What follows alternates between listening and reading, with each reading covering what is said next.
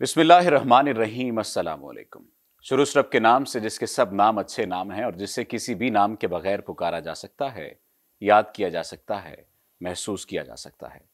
आप देख रहे हैं कैपिटल टीवी और कैपिटल स्पेशल के साथ मैं आपका मेज़बान सफदर अली हूँ। आज के इस कैपिटल स्पेशल में सरबरा तहरीक लब्बैक या रसूलुल्लाह सल्लल्लाहु अलैहि वसल्लम डॉक्टर मोहम्मद अशरफ आसिफ जलाली साहब हमारे साथ मौजूद हैं। आज हम इनसे जानेंगे कि इनके शब रोज़ कैसे गुजरते हैं और साथ ही साथ सुन्नी जो कॉन्फ्रेंस करवाने जा रहे हैं, इसका मकसद क्या है? इतिहाद उम्मत का जो फार्मूला है, वो है क्या और क्या उस फार्मूले पर अमल करवाया जा सकता है? डॉक्टर साहब, बहुत शुक्रिया आपके कीमती वक्त का। शब रोज़ कैसे गुजरते हैं और किस तरह से, हमने कभी नहीं देखा कि आपके माथे पे सिलवट आई हो, मुस्कुराहट हमेशा रहती है। इस मुस्कुराहट का राज क्या है? बिस्मिल्लाहिर्रहमानिर्रहीम। अल्हम्दुलिल्लाहि रब्बिल आलमीन वस्सलातु वस्सलामु अला करीम व अला आलिहि व अजमाइन सबसे पहले तो मैं आपका शुक्रगुजार हूँ कि कैपिटल टीवी के प्लेटफार्म से आज हम महव गुफ्तगु हैं अल्लाह ताला आपको जजाय खैर अता फरमाए रब्बुल का ख़ास फ़ज़ल है कि हमारा जो अक्सर वक्त है वो कुरान सुन्नत के मुताला उसको लिखने में बयान करने में दरुद सलाम पढ़ने में गुज़रता है। और ये ऐसे उमूर हैं कि जिसकी वजह से परेशानी बंदे की करीब नहीं आती। हम्म। क्योंकि दरुद शरीफ जिस वक़्त कोई इंसान पढ़ता है तो रसूल अकरम नूर मुजस्म शफ़ी मुज़म सल्लल्लाहु अलैहि वसल्लम। का ये फरमान है मामिन अहद युसलम आलिया इल्ला रद्दल्लाहु रूही हत्ता अरुद्द अलैहिस्सलाम आपने फरमाया क़्यामत तक जिस जगह से भी कोई मुझ पे सलाम पड़ेगा तो अल्लाह मुझ पर मेरी रूह को लौटाता रहेगा और मैं उस सलाम का जवाब खुद दूँगा। अब ज़ाहिर है कि जिस वक़्त सरकार जवाब में किसी को कहते हैं कि तू सलामत रहे हाँ, तो सारे गम दूर हो जाते हैं। और बंदे को एक तरोताज़गी मैसर आती है यहाँ भी और आखरत के लिहाज से भी। तो इस बुनियाद पर अल्लाह का खसूसी फ़जल करम है कि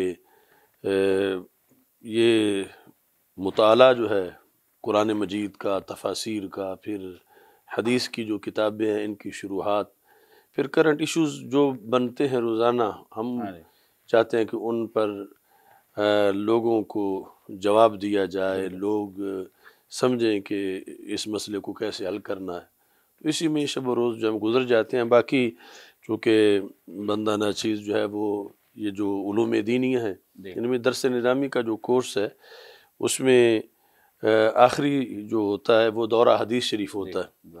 तो दौरा हदीस शरीफ में मैं पढ़ाता हूँ बिलखसूस बुखारी शरीफ।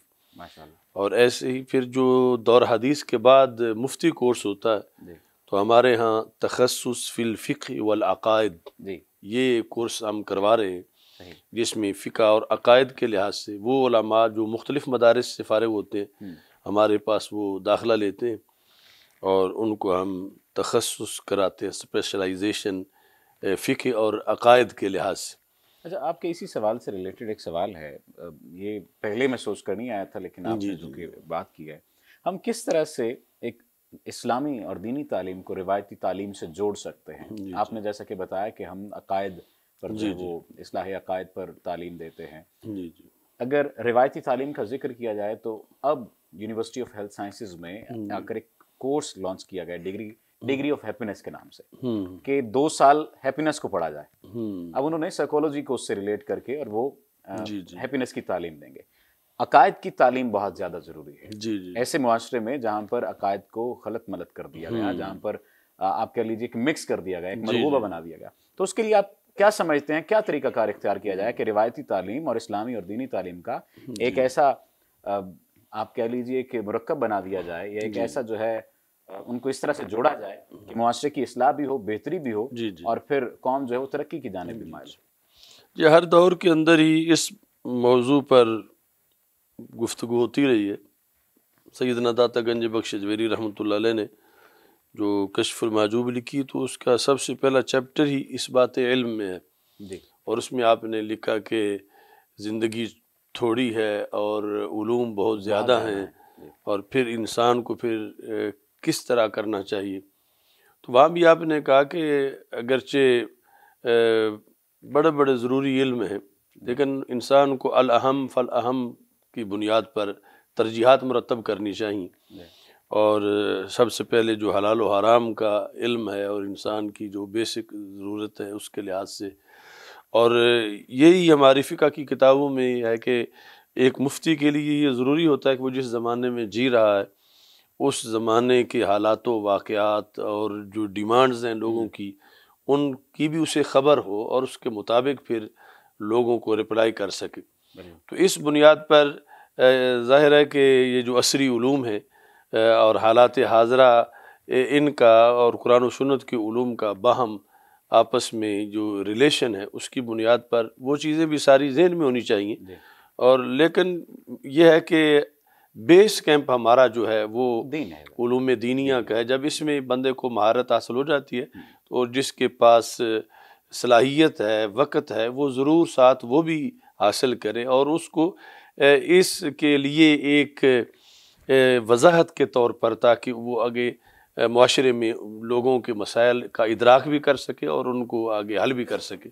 हम ये ज़रूरी जब से सन शूर को पहुँचे हैं कम अज़ कम मैं तो ये बात सुनता आया हूँ कि मेंबर से वो बात नहीं की जा रही जो कि होनी चाहिए। हम्म। आप क्या समझते हैं क्या वाक़ता ऐसा है इसलाह मुआशरा के हवाले से?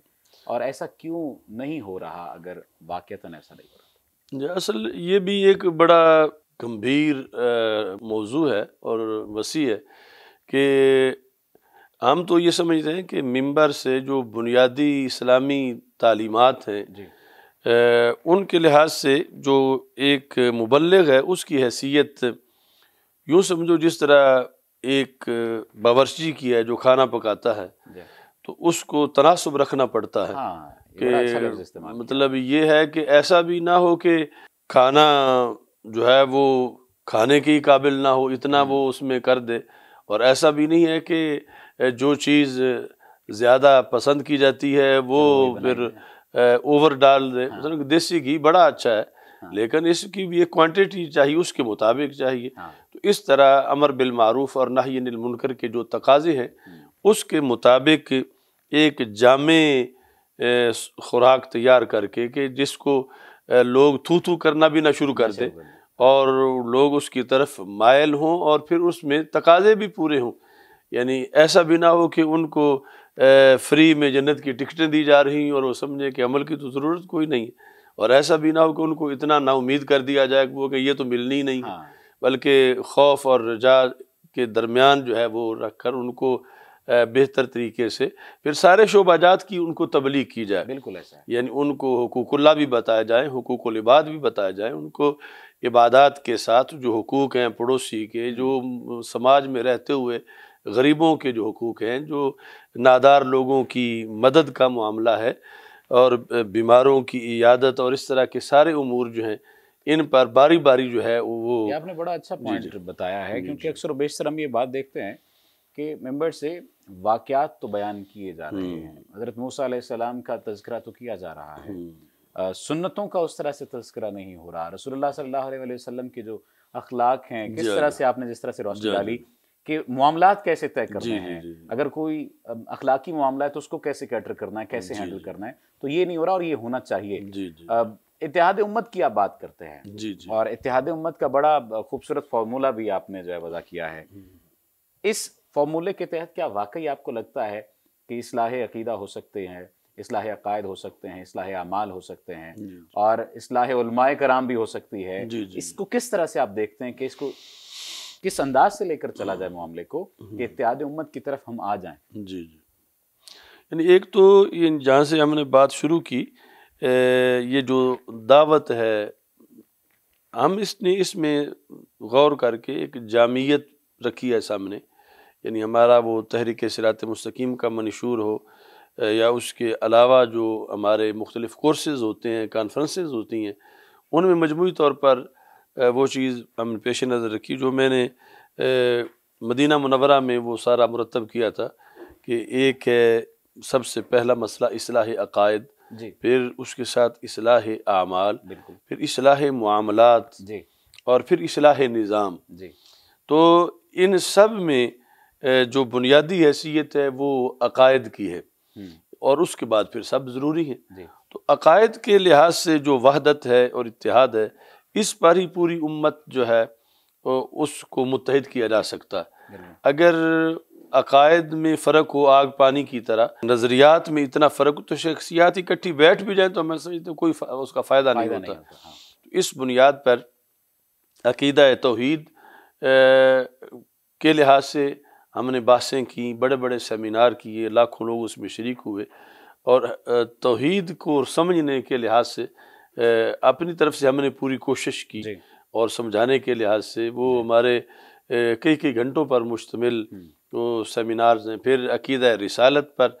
और इसमें यह है कि जो रिसालत है ये है मरकज़ इतिहाद।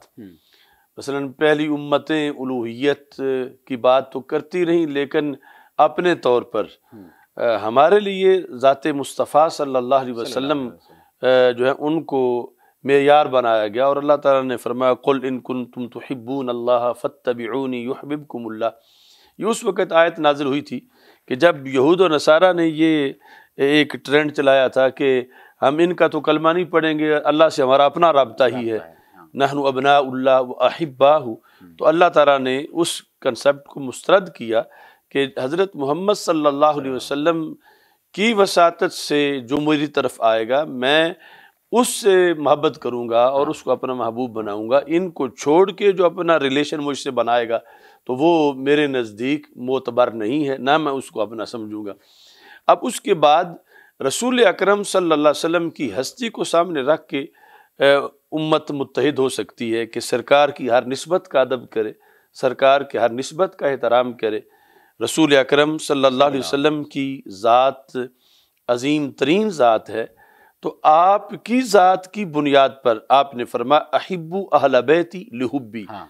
मेरे अहल बैत रदी अल्लाह तु से मोहब्बत करो और साथ का मेरी वजह से मोहब्बत हाँ, करो। हाँ। मेरी वजह नस्बत बढ़ा। जी हाँ, यानी उन वो अजीम हैं हम्म। लेकिन उनको अजमत सरकार के सदक़े में मिली है। और रसूल पाक सल्लल्लाहु अलैहि वसल्लम ने बाकायदा मुन कर दिया कि मुतलकन मैं मोहब्बत का हुक्म नहीं दे रहा। अहिब्बू अहल बैती लिहुब्बी तुमने मुझे देखना है। मेरी नस्बत की बुनियाद पर तुमने इनसे मोहब्बत करनी है। बहुत बड़ा और साथ ही आपने सिहाबा किराम रदी अल्लाह तुम के लिहाज से भी ये कहा कि फमन अहब्बा हम फ़ाबी हुब्बी अहब्बा हम कि जो इनसे मोहब्बत करता है वो मुझसे करता है। यानी इनसे मोहब्बत भी मेरी वजह से करनी है। तो जब आलो असहाब रसूल सल्लल्लाहु अलैहि वसल्लम से सरकार दो आलम सल्लल्लाहु अलैहि वसल्लम की वसात से मोहब्बत की जाती है तो अब धड़ाबंदी का तस्वुर ख़त्म हो जाता है। हम्म। अगर जुदा जुदा की जाए तो फिर हो सकता है कि कोई कहे मैं आल की पार्टी हूँ कोई कहे मैं साहब की पार्टी हूँ। हाँ। सरकार की वजह से करेगा तो फिर हर मोमिन का इश्क रसूल सल्लल्लाहु अलैहि वसल्लम तब मुकम्मल होगा जब सरकार की वजह से दोनों तरफ़ प्यार करेगा। हाँ। क्योंकि ये तो नस्बतें इनकी बड़ी बड़ी हैं सरकार तो किसी सवारी पे बैठे तो उस सवारी से प्यार है। हाँ। किसी रस्ते से गुजरे तो उस रस्ते से प्यार है। तो हमें किसी जन जो करना है बुनियादी तौर पर वो रसूलुल्लाह सल्लल्लाहु अलैहि वसल्लम के बताए हुए हाँ। और उन्होंने जो जो बयान कर दिया जो हद फासिल हमारे लिए खींच दी कि ये है तरीका। सुनी कॉन्फ्रेंस जो है वो करवाने जा रहे हैं आप। इसके मकासद क्या हैं? क्योंकि देखा जाए तो पहले भी बहुत सारी कॉन्फ्रेंसेज होती रही हैं लेकिन अब हाल ही में अपोजिशन भी जो है वो कई कॉन्फ्रेंसेज स्टार्ट कर चुकी है। जी, जी. उनके तो सियासी मकासद हैं। क्या सुनी कॉन्फ्रेंस के कुछ सियासी मकासद हैं। और पहले हमने देखा कि बहुत सारी आप आपने तहरीक शुरू की जी, जी, और तहरीक से फिर कई तहरीकें आगे निकली। जी, जी, उन तहरीकों ने कोई ज़ाती मकासद हासिल किए कई तहरीकों ने सियासी मकासद हासिल किए। अब इस पे मेरा जो सवाल है वो ये है कि आप इतिहाद की बात करते हैं लेकिन हम्म। हमारी ही सफ़ों में उस तरह का इतिहाद क्यों नहीं पैदा हो पा हम्म। रहा एक तो इस सवाल का जवाब दे दीजिए दूसरा सुन्नी कॉन्फ्रेंस के बारे में क्या जा ये असल में थोड़ी सी मैं इसकी तफसील करना चाहता हूँ कि सुन्नी कॉन्फ्रेंस जो है हमारी तारीख इससे वाबस्ता है बिलखसूस बर सग़ीर पाक हिंद के अंदर हम अहल सुन्नत व जमात ने क्याम पाकिस्तान के लिए जो कोशिशें की तो उन कोशिशों के अंदर सौ पच्चीस में मार्च के अंदर मुरादाबाद में एक बहुत बड़ी कॉन्फ्रेंस हुई सुन्नी कॉन्फ्रेंस मुरादाबाद। उसमें इस सिलसिला में सोचा गया क्या मैं पाकिस्तान के तहरीक के लिहाज से और बाकी मामलात के लिहाज से। फिर जब ये मज़ीद आगे सिलसिला चला तो 1946 में क्या मैं पाकिस्तान से एक साल पहले अप्रैल के अंदर चार दिन तक all India Sunni conference Banaras का इनका किया गया। और उसमें ये था कि हमारे हज़ारों व मशाइ ने ये कहा कि अगर किसी तरह कायद अजम मोहम्मद अली जना मुतालबा पाकिस्तान से दस्तबरदार भी हो गए तो हम पाकिस्तान बना के छोड़ेंगे। सही। यानी इतना बड़ा ऐलान था उस कॉन्फ्रेंस के अंदर। पाकिस्तान जब बन गया तो उसके बाद भी फिर सुन्नी कॉन्फ्रेंसों का इनका होता रहा। बिलखसूस मुल्तान के अंदर उन्नीस सौ अठहत्तर में बड़ी तारीखी सुन्नी कॉन्फ्रेंस मुनद की गई। इसके अलावा भी कॉन्फ्रेंसेज होती रही। तो आज हम फिर एक बार उस all India Sunni conference Banaras की याद ताज़ा करते हुए, यानी क्या में पाकिस्तान के मकासद को उजागर करके आज कौम को याद दिलाना चाहते हैं कि वो मकासद अभी तक हासिल नहीं हुए और हमें उन मकासद की तरफ़ मुतवजह होना चाहिए। चूँकि पाकिस्तान बनाना जितना ज़रूरी था बचाना भी उससे ज़्यादा ज़रूरी है। इस पर आप पर एक बात कही जाती है जी, कि कॉन्फ्रेंस जो। होने जा रही है। इसके सियासी मकासद हैं। जी जी। और क्या वाक़ता जब जब भी कुछ ऐसा मामला होता है और उसे सियासत से ताबीर किया जाता है तो उसके मनफी मानों में इस्तेमाल किया जाता है। हालाँकि अगर दीनी शख्सियात इस्लामी शख्सियात या वो दीनी रहनुमा सरकरदार लोग अगर आते हैं और सियासत की तरफ़ आते हैं तो इसलाह मुआशरा बुनियादी तौर पर वो करना चाह रहे जी जी जी। लेकिन सियासत को मनफी मानों में इस्तेमाल किया जाता है और कहा जाता है कि दीन का जो काम करने वाले हैं वो दीन का काम करें। जो सियासत करने वाले हैं वो सियासत करें। तो क्या सुन्नी कॉन्फ्रेंस किसी सियासी मकसद के लिए की जा रही है किसी सियासी फ़ायदे के लिए की जा रही है? अरे सुन्नी कॉन्फ्रेंस ये जो मुरवजा सियासी सूरत हाल है इसके साथ इसका कोई ताल्लुक नहीं। वैसे भी जिस वक्त मैं लफ्ज़ सियासत बोलता हूँ तो मैं ये सियासत मुराद ही नहीं लेता जो हमारे माशरे के अंदर करप्शन लूट मार और इस माने में जो कहा जाता है ये तो मेरा सियासी बयान था ये तो मैंने सियासी तौर पर किया। मेरे नज़दीक जो सियासत है इतना मुकद्दस शोबा है कि ये एक नबूवत का जैली शोबा है। क्योंकि सही बुखारी शरीफ में ये लफ्ज़ हमारे रसूल सल्लल्लाहु अलैहि वसल्लम की मुकद्दस ज़ुबान से लफ्ज़ सियासत निकला। और सियासत नबूवत के एक शोबे के तौर पर आपने इस्तेमाल किया।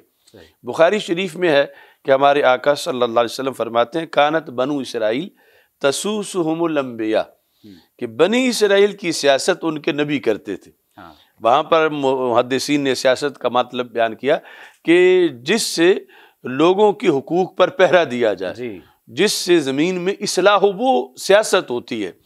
तो रसूल पाक अलैहि वसल्लम ने फरमाया कुल्ला महला का नबी खालफा नबी एक नबी सियासत करके चले गए तो दूसरे तशरीफ़ ले आए। हम्म। फरमाया वाना ख़ातमुलम्बिया मैं आखिरी नबी हूँ वशकून खुलाफा।